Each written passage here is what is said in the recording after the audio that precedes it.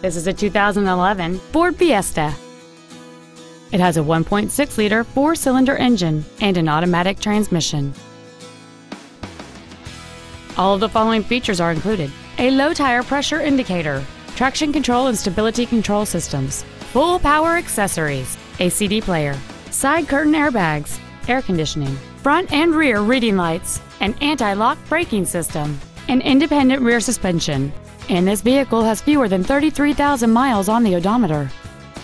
This vehicle won't last long at this price. Call and arrange a test drive now.